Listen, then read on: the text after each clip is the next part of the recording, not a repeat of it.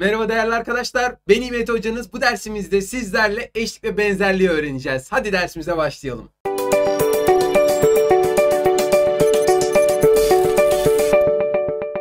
Eşlik ve benzerlik günlük hayatta çok sık karşımıza çıkmakta. Özellikle son zamanlarda yüz tanıma teknolojilerinin geliştirilmesinde özellikle bu benzerlikten faydalanılıyor.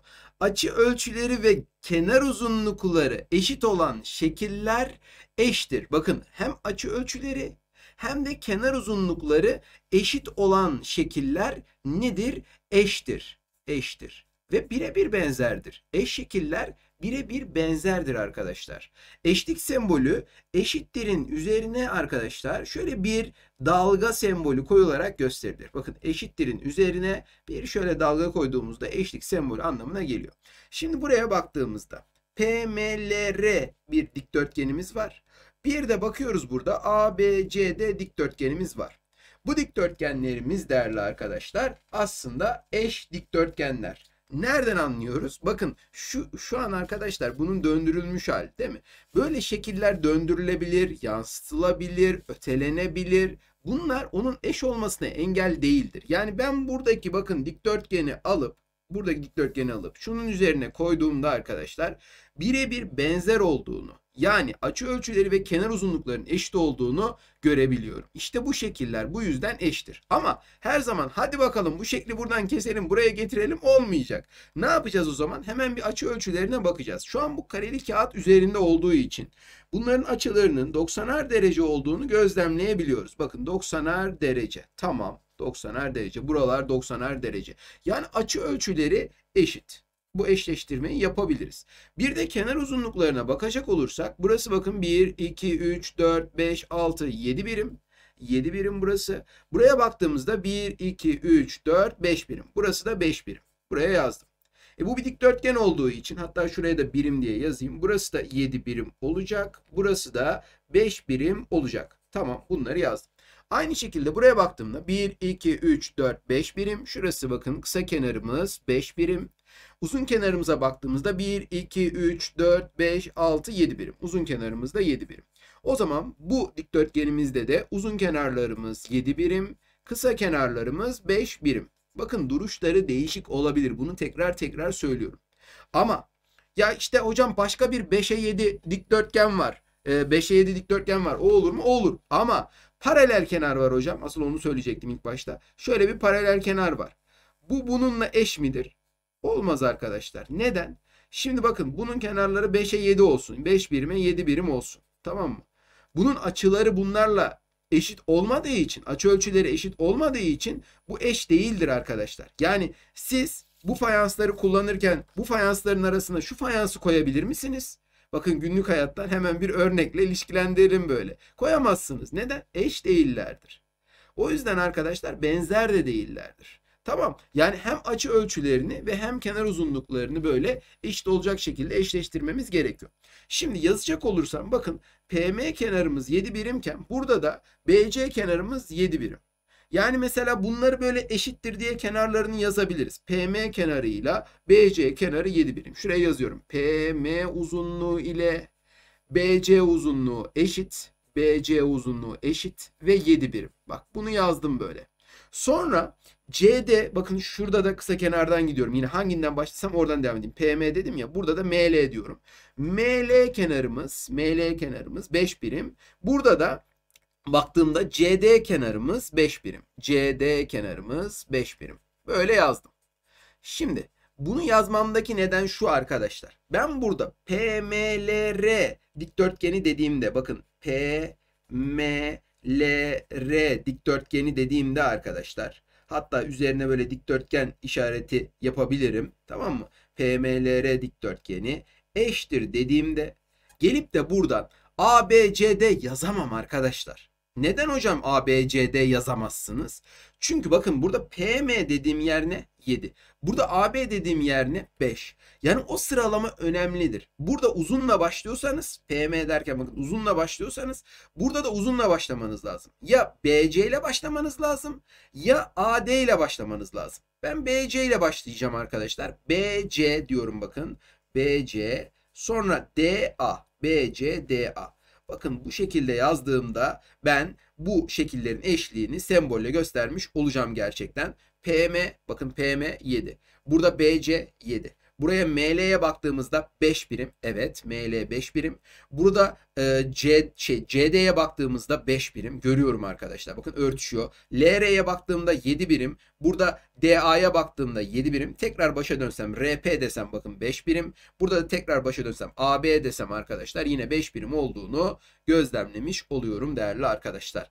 Burada yazarken kenarları, açıları örtüştürmemiz önemli arkadaşlar. Ki burada açıların zaten hepsinin eşit olması işimizi daha kolaylaştırıyor. Hep böyle eşit olmadığı durumlar e, böyle direkt hepsinin eşit olmadığı durumlarda karşımıza çıkabilir. Bunları da ilerleyen sayfalarda göreceğiz değerli arkadaşlar. Şimdi benzerliğe geldik. Açı ölçüleri eşit. Hocam biraz önce eşlikte de bunu söylemiştiniz. Evet. Açı ölçüleri eşit. Kenar uzunlukları orantılı arkadaşlar. Ha birebir orantı varsa, birebir benziyorsa onlar eş oluyor zaten. Ama burada benzer olması için açı ölçülerinin eşit olması gerektiğini ve kenar uzunluklarının orantılı olması gerektiğini söyleyeceğiz. Bu tarz şekiller benzerdir diyeceğiz değerli arkadaşlar. Yani benzer olmanın da bir şartı var yani. Hem açı ölçüleri eşit olacak hem de kenar uzunlukları orantılı olacak. Benzerlik sembolünü arkadaşlar şöyle bakın iki tane dalgayla gösterebiliyoruz. Bazı yerlerde göreceksiniz tek dalgayla da gösterilebiliyor. Yani her ikisi de kabul arkadaşlar. Yani iki dalga ya da tek dalga şeklinde gösterebiliyorsunuz. Ee, burada bir sıkıntı yok. Benzer çokgenlerin karşılıklı kenarlarının uzunlukları orantılıdır. Zaten benzer olabilmesi için o karşılıklı kenarlarının uzunluklarının orantılı olması gerekiyor. Eğer orantı yoksa kenarlar arasında zaten benzer olamaz arkadaşlar. Bu orana biz benzerlik oranı diyoruz. Benzerlik oranı. İşte büyütülmüş mü, küçültülmüş mü bunlara bakacağız. Bu orana benzerlik oranı denir. Bunları ezberlemenize gerek yok. Ben sadece bilgi mahiyetinde veriyorum. Mesela arkadaşlar şurada bir tane dik üçgen görüyoruz. Hocam dik üçgen olduğunu hemen nereden anladınız? Şuradan bakın şurası 90 derece bir açısı 90 derece. Burada da bir açısı 90 derece. Bak buradan hemen birer tane açıların eşit olduğunu çıkardım. Burada hepsi verilmemiş ama ben çıkartabilirim. Mesela burada kenar uzunluklarına bakacak olursam 1, 2, 3, 4 birim. Yani şurası 4 birim. Yazıyorum buraya 4 birim diye. Direkt 4 yazsak da olur aslında ama 1, 2, 3, 4, 4 birim. Buraya 4 birim yazdım. Çünkü 4 yazdığında 4 birim olduğunu zaten anlayacaksınız değerli arkadaşlar. Buraya geldiğimde e, bu bizim tanıdığımız bir dik üçgen aslında değil mi? 4 4 4 kök 2 oluyordu. Burada her bir köşegen aslında kök 2 olarak kabul ediliyordu. 1 1 e, 1 kök 2'den ya da 4 4 4 kök 2'den. O zaman burası da ne olacak? 4 kök 2 olacak. Pisagor uygulayabilirsiniz tabi ama arkadaşlar Pisagor uygulamadan da böyle dik üçgen bilgimizden işte kenar uzunlukları böyle dik kenarları aynı uzunluktaysa hemen kök katını alıyorduk 90 derecenin karşısına. Bunu da söyledik. Ha bunu bilmeniz şu an çok önemli mi? Şu an çok önemli değil açıkçası. Asıl önemli olan açılara geçmemiz ve kenarları orantılamamız arkadaşlar. Oranlamamız. Şimdi şuraya geldiğimizde 1, 2, 3 birim. Bakın dik kenarımız 3 birim. Buraya geldiğimizde dik kenarımız 3 birim. Tamam hocam. Buraya geldiğimizde de o zaman hipotenüs uzunluğumuz 90 derecenin karşısı da 3 kök 2 birim oluyor. Şimdi bakın burada şöyle bir şey ortaya çıkıyor aslında. Bu ikizkenar bir dik üçgen olduğu için şu açıları 45'er derece. Yani açı ölçülerinin eşit olduğunu buradan görüyoruz. Buraya geldiğimizde 45 derece diye yazdım. Tabii bu çünkü özel bir üçgen ya hani e, direkt bununla başladık biraz daha basit tarzda olsun diye. Biraz sonraki üçgende mesela e, açılarını eşitleyeceğiz, kenar uzunluklarını orantılayacağız. Yani gittikçe zorlaşacak şekilde anlattığımı zaten görüyorsunuz arkadaşlar. Sürekli takip eden arkadaşlar bunun farkındalar. Şimdi kenar uzunluklarımızı yazalım sırasıyla. KL uzunluğumuz ne? 4 birim. Değil mi? Bak KL uzunluğumuz 4 birim. Ben böyle yazacağım. KL uzunluğumuz 4 birim. Yazdım. Sonra bununla orantılayacağım arkadaşlar bakın RT uzunluğu. RT uzunluğumuz kaç birim? RT uzunluğumuz da 3 birim. Bak bunu da yazdım. RT uzunluğumuz da 3 birim. Sonra şuraya aldım. LM uzunluğumuzu aldım. LM uzunluğumuz kaç birim? LM uzunluğumuz da 4 birim. Onu da yazdım. LM uzunluğumuz 4 birim. Bölü. Sonra buraya geldim. RS uzunluğumuz da kaç birim? RS uzunluğumuz da burada 3 birim. Bakın hep 4 bölü 3 oranı çıkıyor. Eğer buradan buraya oranlama yaparsam da 3 bölü 4 oranı çıkacaktır. Yani mesela burada benzerlik oranını bulurken büyüğü küçüğe oranlıyorsanız 4 bölü 3 oranını göreceksiniz. Küçüğü büyüğe oranlıyorsanız 3 bölü 4 oranını göreceksiniz. Yani benzerlik oranı burada hem 4 bölü 3 hem de 3 bölü 4 olabilir arkadaşlar. Neye, neye oranladığınıza bakarak buna karar vereceksiniz. Bitti mi bitmedi. Bir de şuradaki KM uzunluğunu bakın. KM uzunluğunu alıyorum. KM uzunluğu ne? 4 kök 2 birim. Hemen yazıyorum. 4 kök 2. Evet. Hocam burada ST uzunluğu. Evet. ST uzunluğumuz da 3 kök 2. Sanki bunda olmayacakmış gibi hisse kapılabilirsiniz ama bu da oluyor. Neden? Şuradaki kök 2'ler gittiğinde yine benzerlik oranının arkadaşlar kısaca ben ona BO diyeceğim. Benzerlik oranının neye eşit olduğunu söyleyeceğim. 4 bölü 3 olduğunu söyleyeceğim. Ben büyük üçgeni küçük üçgene oranladığım için 4 bölü 3 olarak buldum. Küçüğü büyüğe oranlarsanız 3 bölü 4 benzerlik oranını bulacaksınız. O da yanlış değil arkadaşlar. Şimdi burada benzerliği yazma boyutuna geleceğiz. Karşılıklı kenarlar uzunlukları orantılı dedik ya. Yazarken de sıralamaya dikkat etmemiz gerekiyor arkadaşlar. Mesela burada harf sırası verilmiştir KLM diye. Siz mesela ona göre yazmaya çalış... Hayır öyle değil. Yani demek istediğim şu. Harf alfabetik sırada değil. Siz hemen onu öyle yazmayacaksınız. Hakikaten örtüşüyor mesela. 4, 4, 4 kök 2. Ya işte burada 3, 3 kök 2, 3 olmaz mesela. Neden? 4 4 4 kök 2 diye başladıysan mesela KLM dediysen bak yazayım onu. Senin burada mesela K açın kaç derece? 45 derece. Açıları da eşleştirelim hadi. Hadi onu da eşleştirelim. O da eksik kalmasın. K açısı burada bakın K açısının ölçüsüyle MK diye yazayım. K açısının ölçüsüyle burada hangi açının ölçüsü eşit arkadaşlar? T açısının ölçüsü eşit. S de diyebilirsiniz. Fark etmez. Nasıl, nasıl yazarsanız orada bir sıkıntı yok. Çünkü ikizkenar üçgen olduğu için burada T açısının ölçüsü birbirine eşit. O zaman ne diyeyim? MT açısının ölçüsü eşit 45 derece. Aynı şekilde eşleştirmeyi bir de şuradan yapacağım. M açısının ölçüsü 45 derece. Aynı şekilde burada da S açısının ölçüsü 45 derece. Bak ölçüleri eşit. E buraya geldim. L açısının ölçüsü, L açısının ölçüsü 40, 90 derece. 45 diyordum az da. Burada da R açısının ölçüsü 90 derece. Tamam mı? O zaman bunların açı ölçülerin eşit olduğunu zaten görüyorduk arkadaşlar. Hani bunu da yazdık. Ha bunu her soruda hocam yazmak zorunda mıyım diyorsunuz. Hayır yazmak zorunda değilsiniz arkadaşlar. Görüyorsanız sıkıntı yok. Ama yazarken dikkatli olmanız önemli işte. Şunu demek istiyorum. Mesela burada K dediniz. Sonra L dediniz. Sonra M dediniz ya. Yazıyorum bakın. KLM üçgeni ile KLM üçgeni ile tamam mı? Üçgen işareti koyayım hatta şöyle. Benzerdir. Tamam mı? Benzerlik sembolünü ben böyle çift dalga şeklinde yapacağım burada. Sonra buraya geldiğimde ya işte hocam RST diyeyim. Olmaz. Neden? Ya çünkü burada K ne? 45 derece. Sen burada R ile başlarsan olmaz. Yani her şeyin bir adabı var arkadaşlar. Öyle kafanıza göre takılamazsınız bunda. Tamam mı? Yani benzerlik de olsa. Hocam bu eşlik mi? Eşlik değil. Ama yani burada benzerlik de olsa, eşit de olsa o açıları eşleştirirken dikkatli olacaksınız. Yani burada sen 45 ile başladıysan burada da 45 ile başlaman lazım. Ya S'den başlayacaksın ya T'den başlayacaksın o zaman. Tamam mı? Hani ikisi de 45 olduğu için diyorum. S'den başladım diyelim. Tamam mı? S'yi yazdım ben. S'yi yazdım. Sonra ben T'yi yazacağım hocam diyor arkadaşımız. Yazamazsın. Neden? Çünkü sen burada ortaya L'yi yazdın. 90 derecelik olanı yazdın. O zaman sen buraya neyi yazman lazım? 90 derecelik olan R'yi yazman lazım. Yani SRT arkadaşlar. SRT şeklinde yazacağım. Bakın gerçekten o zaman örtüşmüş olduğunu göreceğiz. K45, S45, L90, R90, M45, T45 görüyoruz. Hocam ben bunu MLK, bunu da TRS diye yazsam olmaz mı? Olur. Yani hani tersten yazsam olmaz mı? Olur. Yani illa böyle yazacaksınız diye bir şey yok. Mesela ben 90'lardan yazdım hocam diyen arkadaşlarımız oluyor. Şöyle yazmış mesela. LKM diye yazmış. Olur. LKM üçgeni benzerdir. Ne arkadaşlar? Bakın 90'la başladım ya. O zaman ne diyeceğim? RTS üçgeni. RTS üçgeni. Gerçekten bakın L90, R90. E işte burada K45, burada da T45. Burada M45, burada da S45. Herhangi bir sıkıntı olmaz arkadaşlar. Önemli olan işte burada o karşılıklı kenarların uzunluklarının orantılı olacağını şöyle bir çıkarıp benzerlik oranını yakalamak. Sonra açı ölçülerine göre de şu e, eşliği, benzerliği, bu eşlik değil arkadaşlar gerçi, bu benzerlik arkadaşlar. Bu benzerliği yazabilmemiz. Tamam mı? Benzer şekiller eş olmak zorunda değildir. Biraz sonra onu da açıklayacağım. Ama eş şekiller birebir benzerdir arkadaşlar. Yani eşle benzerlik iç içe geçmiş konular. Pekiştirelim. Pekiştirelim. Her zaman öyle o kadar ikizkenar üçgen bilmem ne olacak diye bir şey yok. Şekillerin eşlik ya da benzerlik kurallarını sembol kullanarak yazmak istiyorsak ölçüleri eşit olan açıları ve birbirine karşılık gelen kenar uzunluklarını belirtmeliyiz arkadaşlar.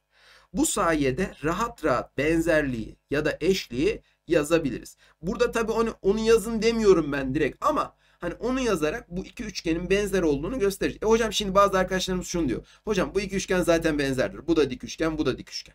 Ya arkadaşlar her dik üçgen birbirine benzemez. E illa dik üçgen olması bunların benzer olduğu anlamına gelmez. Siz bunların benzer olduğunu bir çıkartmanız lazım. Tamam mı? Mesela bak burası 3 santim, burası 4 santim. O zaman 90 derecenin karşısı ne olacak? 5 santim olacak. Bunu sen kendin böyle yazacaksın Pisagor'dan. Sonra bak burası 8 santim, burası 6 santim.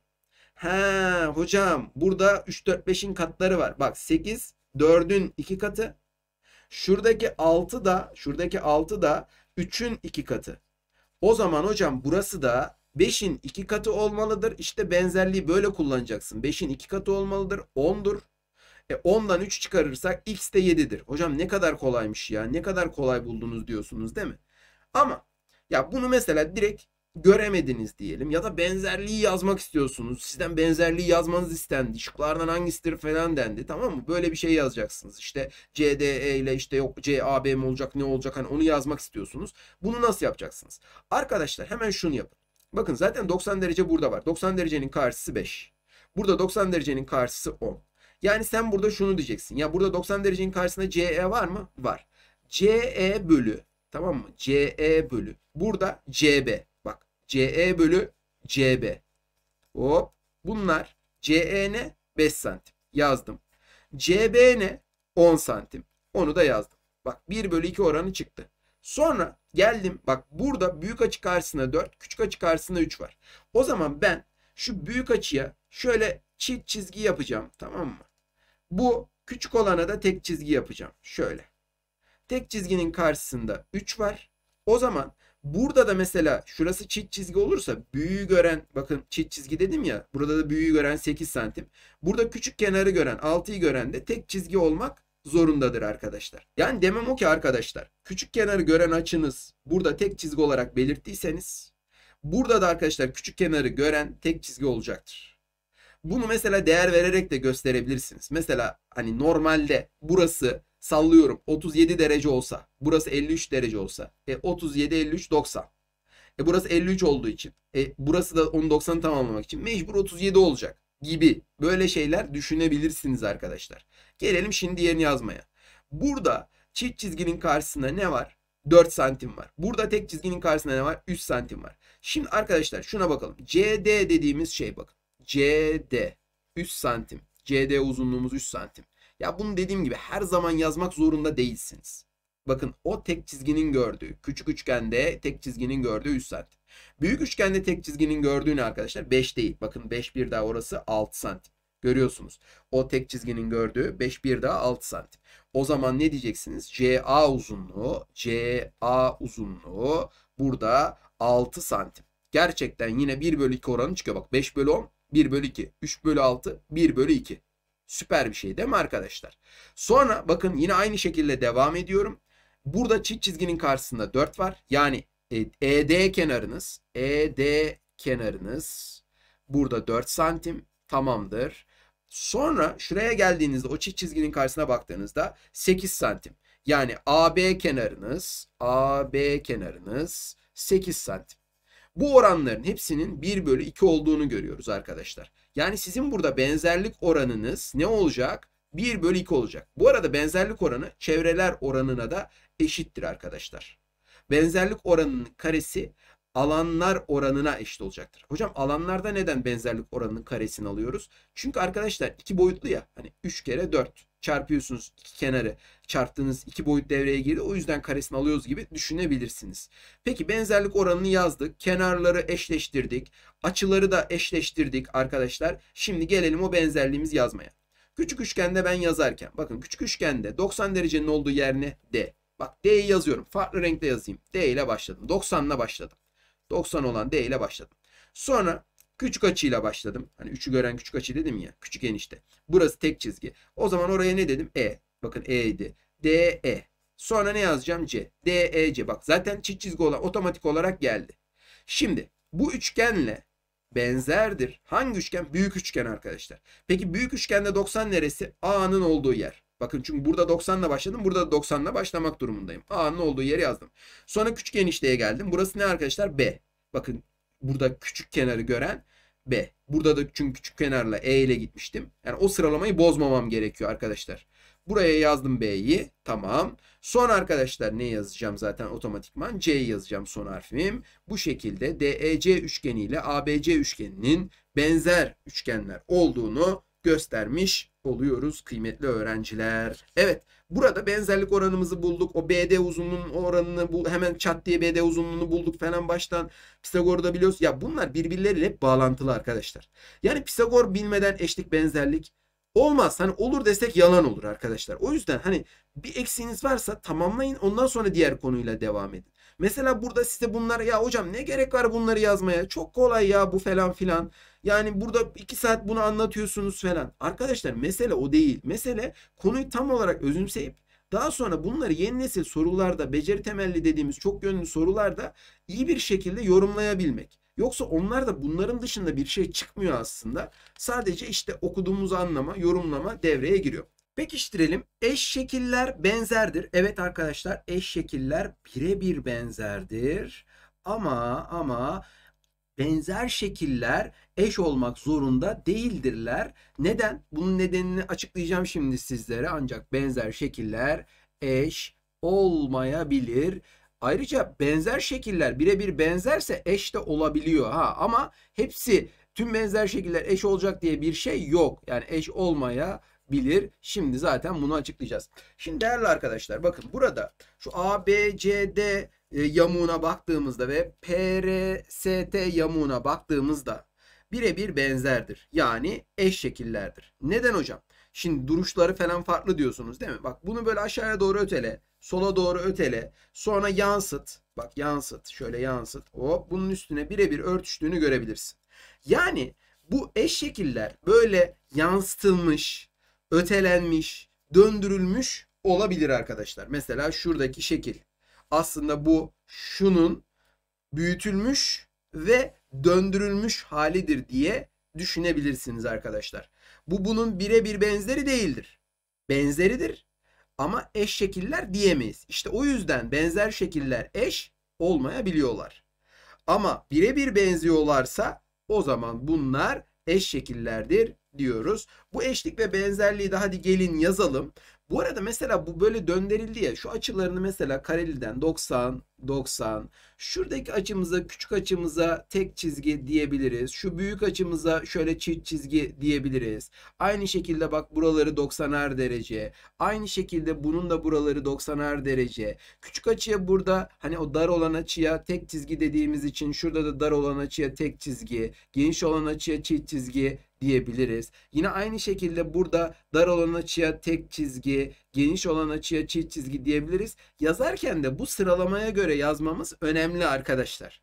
Yani açı ölçüleriyle kenarlarının orantıları falan bak. Mesela burada şurası 2 birim, burası 2 birim, burası 3 birim. Burası bakın baktığınızda şurası 2 iken burası 4 birim olmuş. Evet 4 birim. Burası 4 birim. Şuraya baktığımızda 2, 4, 6 birim. 2 kat büyütülmüş hali diyebiliriz arkadaşlar. Hatta bak burası çizilirken nasıl çizilmiş? Şöyle iki yukarı bir sola gidilmiş değil mi? Bak iki yukarı bir sola.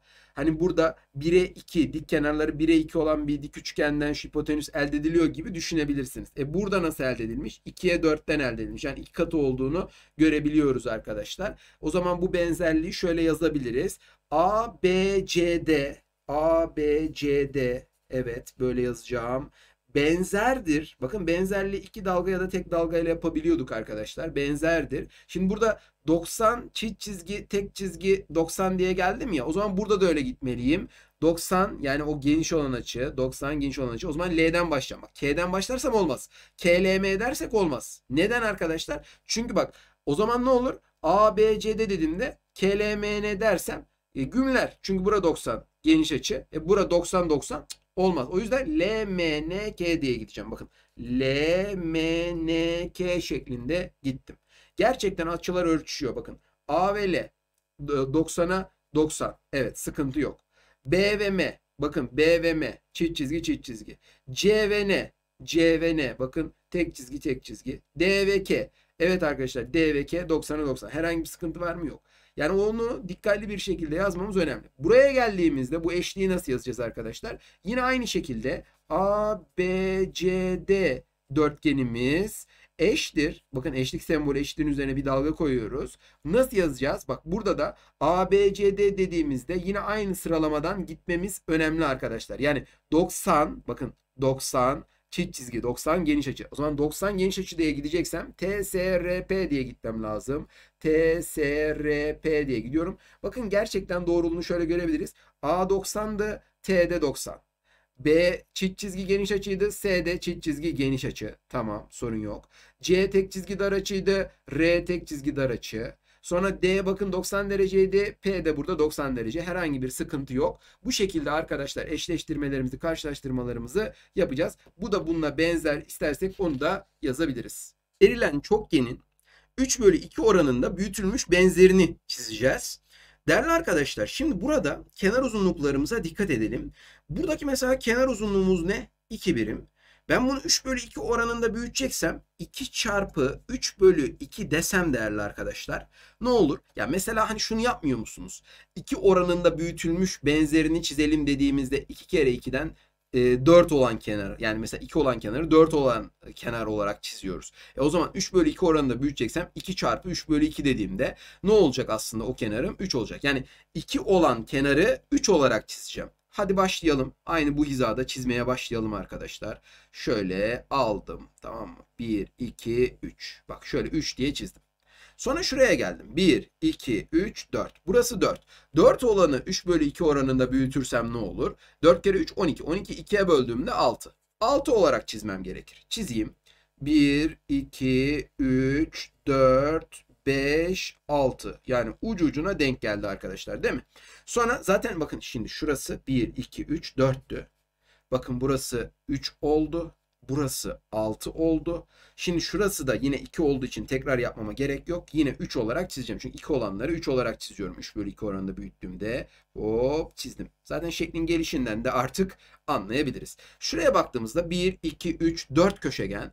4 köşegen olursa onu biz bakın 4 olanı 6 olarak çizdiğimize göre 4 köşegen olanı 6 köşegen olarak çizmeliyiz değerli arkadaşlar. 6 köşegen olarak çizeceğim ben bunu. Ama nereden çizeceğim? Önce şunu aşağıya doğru çizmem lazım. Burası da 2 birim olduğu için bakın. Bunu aşağıya doğru çizeyim. Bunu aşağıya doğru 2 olanı 3 birim olarak çizeceğim yine. 1, 2, 3. Bak şöyle çizdim. Aşağıya doğru 2 olanı 3 birim olarak çizdim. Şimdi 6 köşegeni çizeceğim. 6 köşegen. 1, 2, 3, 4, 5, 6. Yine ucucuna yetti arkadaşlar. Yani orada bir stres oluyorum. Acaba yetmeyecek mi diye ayarlamaya çalıştım ama önceden yine de insan bir stres oluyor yani orada. Burası 6 köşegen oldu. Şuraya geldiğimde 1, 2, 3, 4 birim. E 4 birim olanı biz 6 birim olarak çiziyorduk. Hadi bakalım aşağıya doğru. 2, 3, 4, 5, 6 birim çizdim. Sonra da arkadaşlar neyi çizeceğim? Bakın burada da yine noktanın noktaya göre konumundan 2'ye 1, 2'ye 1 gitmişsiniz ya. Bundan 2 defa yapmışsınız. O zaman 3 defa yapmanız gerekir. Çünkü 2 defa yaptığınız hareket 3 kere yapacaksınız. Ama hani onu görmeseniz bile şunu çat diye birleştirdiğinizde yine çıkar. Bakın 2'ye 1 bir tane yaptım. 2'ye 1 bir tane yaptım. 2'ye 1 bir tane yaptım. O 2'ye 1'lik e, hareketlerden arkadaşlar 3 tane yapmış oldum. Ki onu görmesem bile dediğim gibi o noktaları artık birleştirmem gerekeceği için arkadaşlar bu şekilde rahatlıkla çizdiğimizi görmüş olacağız. Hatta Pisagor'dan şu kenar uzunluklarımızı da arkadaşlar bulabiliriz. Hocam bunu niye çizdiriyorsunuz diyorsunuz belki. Arkadaşlar elimizin alışması önemli. Kareli kağıdı kullanmamız, bu şekilde e, bunların arasındaki o benzerliği çizebilmemiz, görebilmemiz, yorum yapmamız açısından e, önem arz ediyor. E, bu önemli bir şeydir yani es geçmeyin.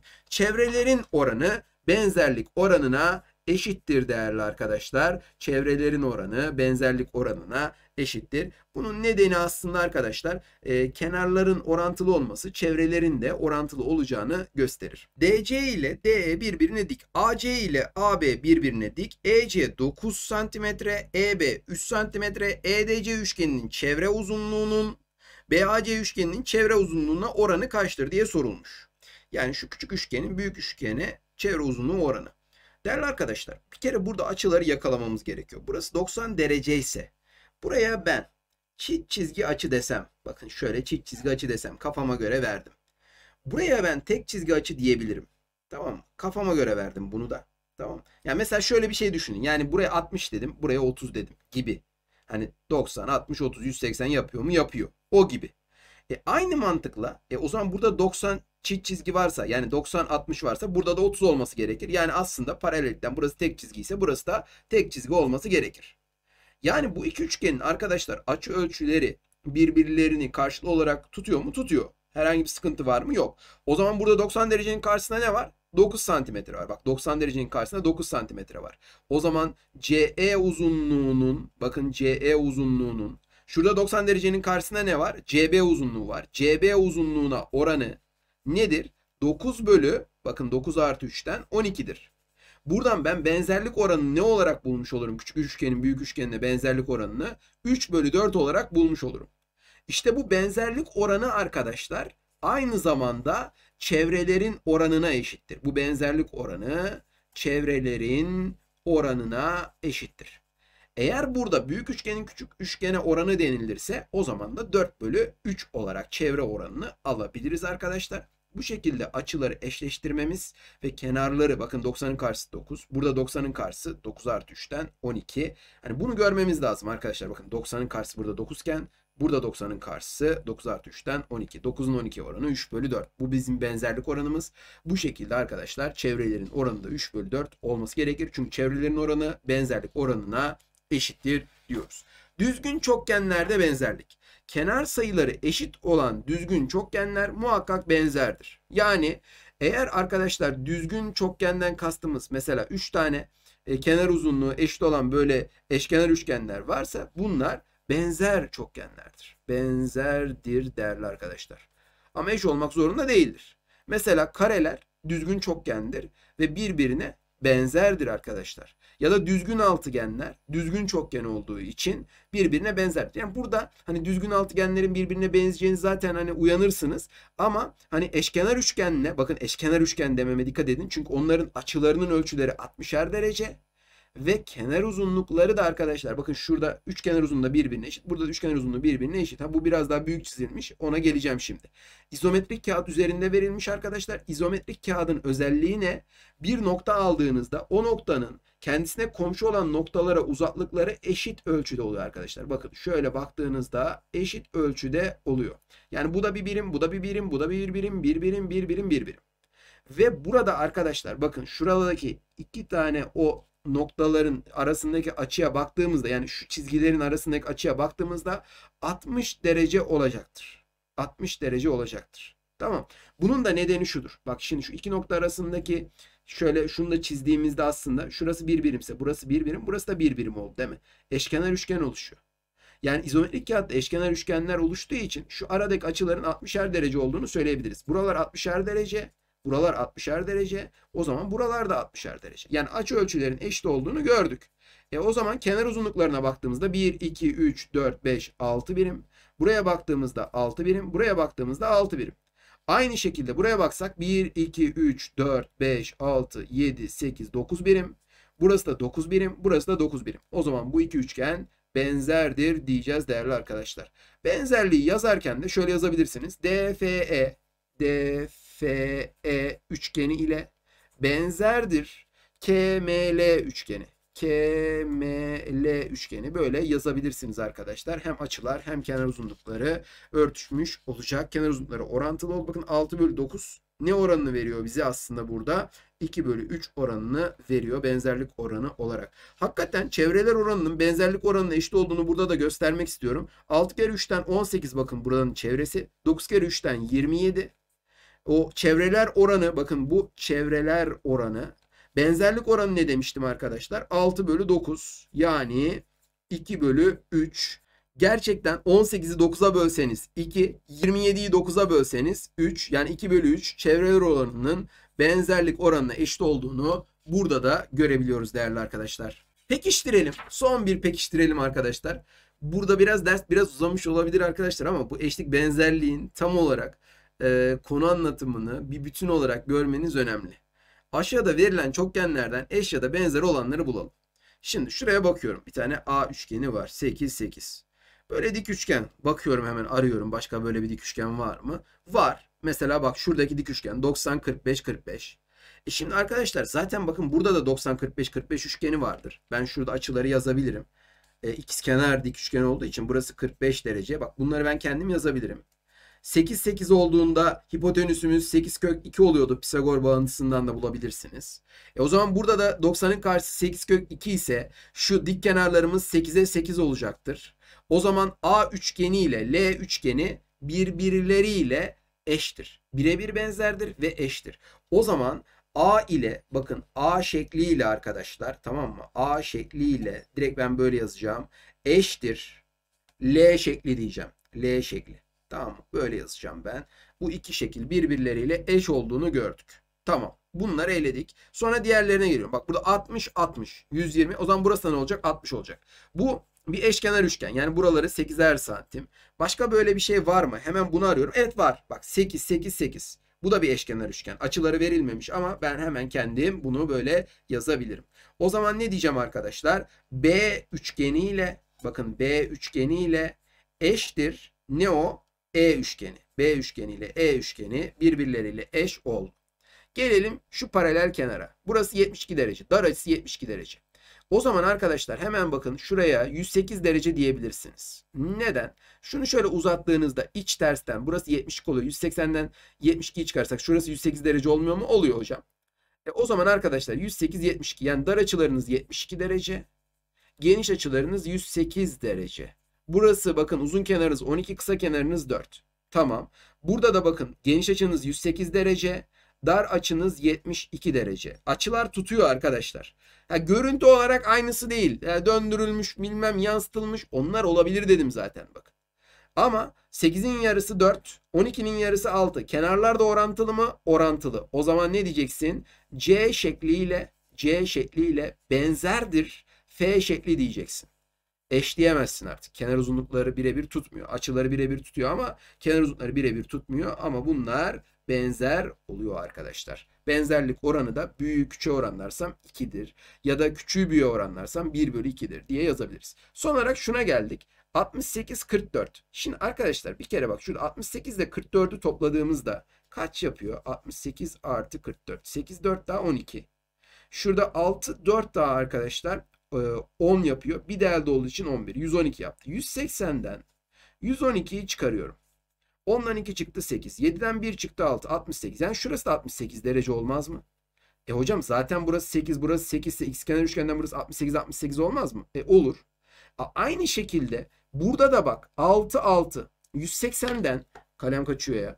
180'den kalem bile isyan etti ders uzadı diye. 180'den 44'ü çıkardım. Ondan 4 çıktı 6. 7'den 4 çıktı 3. 136. 136'yı 2'ye bölersek 68'ler derece olduğunu yine görebiliriz. Zaten ikizkenar üçgen arkadaşlar bakın görüyoruz. E şimdi hocam bununla bu benzer mi? Benzer arkadaşlar. E nereden anladınız hocam? Bak 44'ün karşısı 6. Burada 44'ün karşısı 4,5. Oranlayalım hatta onu yazalım. 6 bölü 4,5. Önce tabii büyükten başladım. Önce büyüğü yazayım. Tamam mı? Burada 68'in karşısı 8. Burada 68'in karşısı 6. Bak 8 bölü 6. Burada 68'in karşısı 8. Tekrar yazmama gerek yoktu ama yine yazalım. Burada 68'in karşısı 6. Yani 4 bölü bakın 8'de 2 4 kere 6'da 2 3 kere. 4 bölü 3 oranı oluyor mu? Oluyor. Gerçekten 6 bölü 4,5 da 4 bölü 3 oranını verir. Çünkü 1,5'a bölseniz ya da şöyle yaparsanız 6 bölü 4,5 ya. Birer sıfır ekleyiverin. 6'ya bir sıfır eklediniz 60. 4,5'un bir virgülünü kaydırdınız 45. E 60'da 15 4 kere 45'te 15 3 kere 4 bölü 3 oranını veriyor mu? Veriyor. Benzerlik oranını sağlıyor. O zaman ne diyebiliriz arkadaşlar? D ile K şekilleri de birbirleriyle benzerdir diyeceğiz. Bakın Çok basit gibi duruyor ama şu benzerliği görmek bile çok önemlidir arkadaşlar. Buradaki eşlikleri görmek, benzerlikleri görmek konuyu özümsemek için gerçekten çok önemlidir. Ve geldik yeni nesil sorumuza. Dik üçgenlerde 90 derecelik açının karşısındaki kenar hipotenüs denir. Evet bakın bu bize bilgi olarak verilmiş. 90 derecenin karşısındaki şu B bizim hipotenüsümüz. Bir dik üçgende dik kenarların uzunluklarının karelerinin toplamı bakın A'nın karesi artı C'nin karesi dik kenarların uzunluklarının kareleri toplamı hipotenüs uzunluğunun karesine eşit. B kare eşit. Tamam. Aşağıdaki görselde yelkenleri eş üçgenler şeklinde olan bir gemi modeli verilmiştir. Bakın eş üçgenler. Hem Pisagor var hem eş üçgenler var arkadaşlar soruda. Tamam mı? Bu modelde tabana dik olarak yerleştirilen yelken direğinin boyu geminin boyundan %20 eksiktir. Ha, şimdi şu yelken direğinin boyu geminin boyundan %20 eksikmiş arkadaşlar. Yelkenler tabandan itibaren ikişer metre ara ile direğe bağlandığına göre geminin boyu kaç metredir? Yelken direğinin boyunu bulursak geminin boyuna ulaşabiliriz. Çünkü geminin boyundan yelken direği %20 eksikmiş.